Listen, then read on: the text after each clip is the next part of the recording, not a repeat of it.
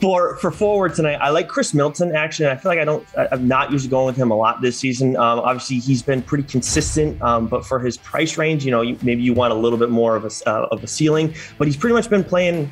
His ceiling has been his floor. It seems like he's averaging 33.4 DK fantasy points a game. You look at his last 10 games. I think it was actually 10 game or nine games ago that he went off over 40. Uh, but when you look at what he's got tonight, we're, we're dealing with a game that has one of t- uh, is one of two games that has two teams that are top 10 in pace. Um, the Hornets are second. The Bucks are tied for fourth, and this is the highest total on DraftKings Sportsbook tonight.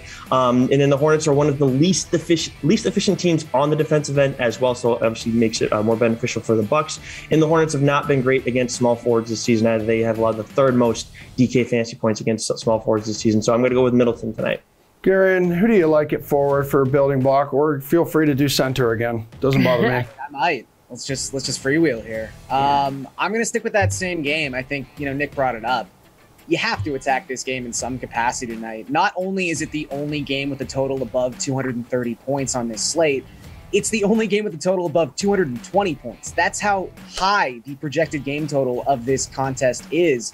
Because as Nick mentioned, you've got two teams sitting inside the top 10 in pace and the top 10 in offensive efficiency. So points are going to be scored in this game. And I think there's a nice sort of tier for the Hornets at forward. You've got two options essentially. You can go with Miles Bridges, who hasn't been quite as good lately as he had been in October. Uh, the shooting numbers, the efficiency numbers were down in November. Uh, he's 7,800. Or I would maybe prefer to go with someone like Gordon Hayward, who is $6,300. Sort of fits that Middleton tier that Nick was talking about. He's not a guy with a massive ceiling, he's more about his floor. But that floor has really been coming into play as of late because he's scored at least 30 DraftKings points in six of his last seven games. So I think someone who has the safety of Hayward, who's put into an environment that could draw that ceiling out of him, is a really nice spot and a really nice place to go at just over 6K